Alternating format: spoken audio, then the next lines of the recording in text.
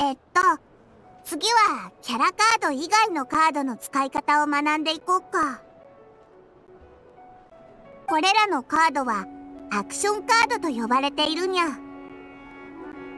各対戦が始まる前にデッキから5枚のアクションカードを引いてそれが初期手札になるの。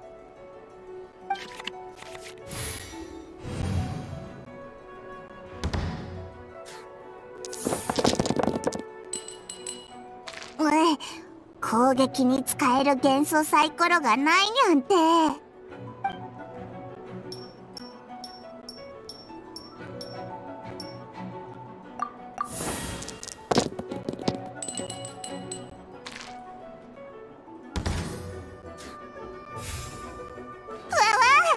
リロールしても使えそうなサイコロがないね。でも大丈夫。こういった状況でもアクションカードをうまく使えば効率よく攻撃できるよ。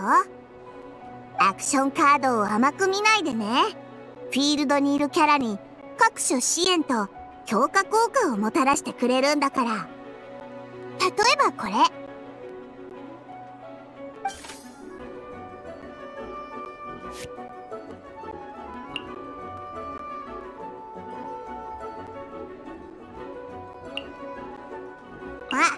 このアクションカードを発動するにはこれが2つ必要だね。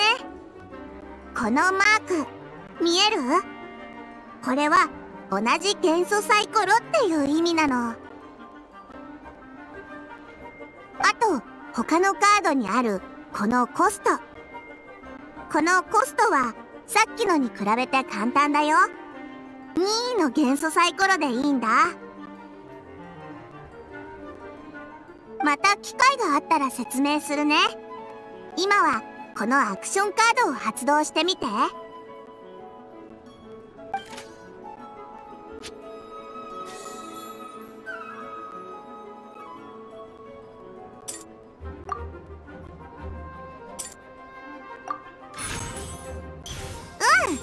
手札からアクションカードを出す場合クイックアクションになるの。クイックアクションをしてもあなたの番は終わらないんだ。簡単に言うと手札のカードを発動しても続けてアクションできるってわけ。ふん。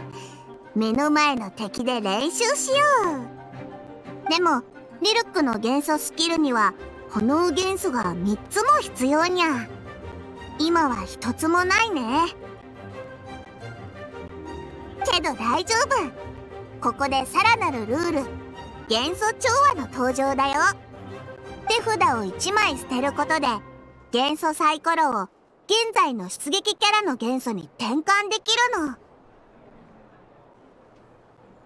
このカードはしばらく使わないからこれを使って元素調和してみよう。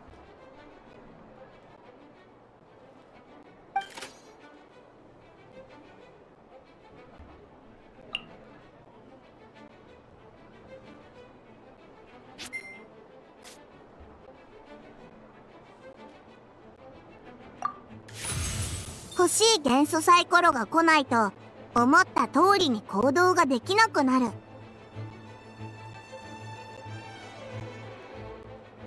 でも七星召喚は手札の数よりも攻撃のリズムを保つことがかなり重要になってくるにゃ。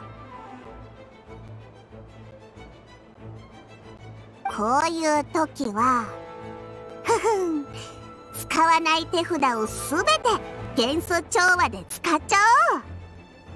手札の発動と同じで元素調和もクイックアクションの一つなの。じゃあ続けて元素調和をして炎元素を3つ集めよう。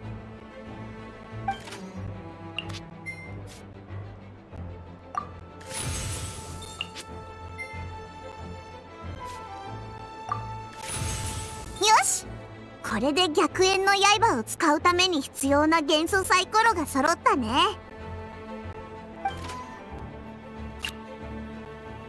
白鉄の体験を装備してるから逆縁の刃のダメージがプラス1されるよ。